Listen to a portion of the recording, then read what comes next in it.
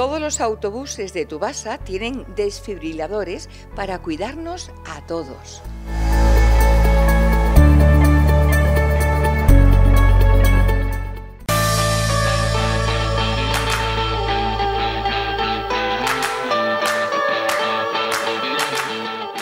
Nos hemos acercado al parque de la margen derecha del río Guadiana para hablar con Chema Mateos, atleta y presidente del club Maratón Badajoz. Muy buenas, Chema. Hola, muy buenas tardes, Nacho. Buenas tardes a todos.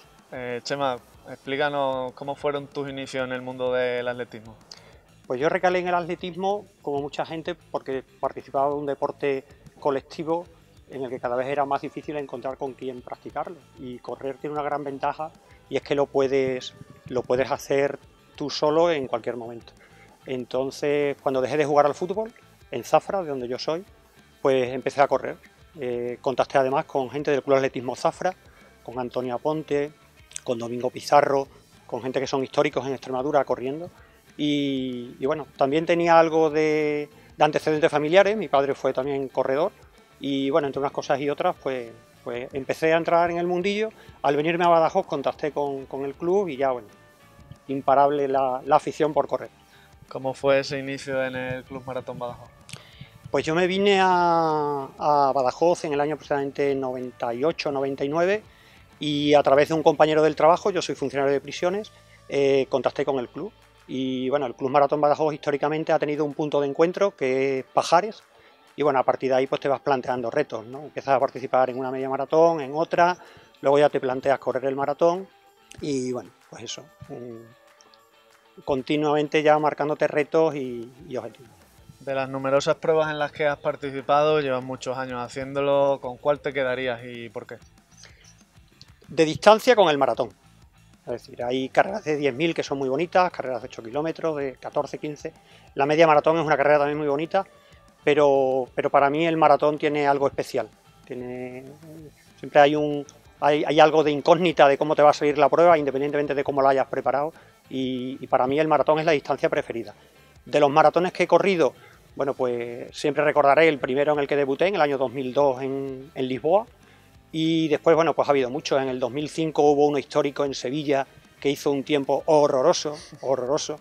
Maratón de Roma, maratón de Praga, eh, los maratones de Madrid hemos ido muchas veces. Eh, hay muchos maratones, unos por unas cosas y otros por otras, que, bueno, que los tienes ahí en la memoria y no se te olvidan nunca. Según por lo que me estás contando, no solo has participado en carreras a nivel nacional, también internacional, ¿no? ¿Cómo, cómo se viven esas experiencias? Mm, en el Club Maratón Badajoz, desde luego, lo enfocamos siempre como una oportunidad de convivencia y de hacer turismo y de conocer ciudades nuevas. Entonces, bueno, pues excepto ahora durante el tiempo de pandemia, siempre hemos procurado organizar al año una salida al extranjero.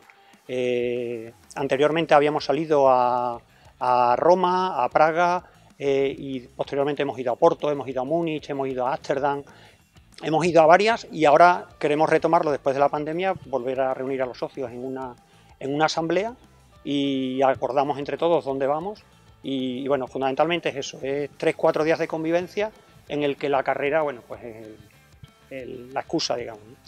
¿Qué objetivos tienes por delante?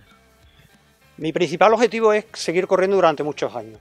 Para mí eso sería lo fundamental. Es decir, si yo consiguiera seguir corriendo como hay aquí en Badajoz, en Extremadura, eh, gente con 70 años, eh, si pudiera seguir corriendo con esa edad todavía maratones, ese sería mi gran, mi gran objetivo.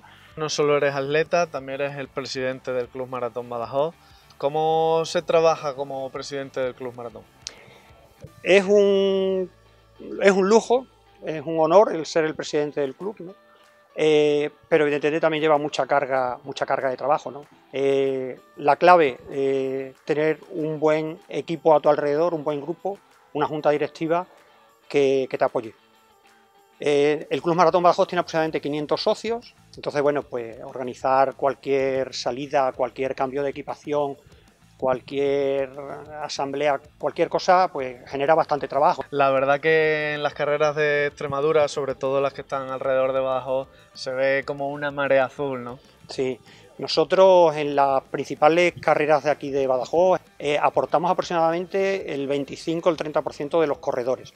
En, en, varones suele ser alrededor del 15 o el 20%, pero sobre todo es llamativo que en mujeres eh, las mujeres del Club Maratón muchas veces representan el 40, incluso el 50% de la participación femenina en muchas de esas pruebas.